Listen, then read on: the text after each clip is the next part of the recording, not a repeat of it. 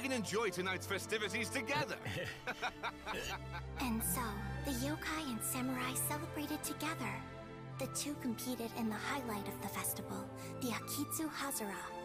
Their spectacular game ended in a draw. Yeah, exactly. Friendship If the story was like this all the time, I wouldn't get so bored and skip it.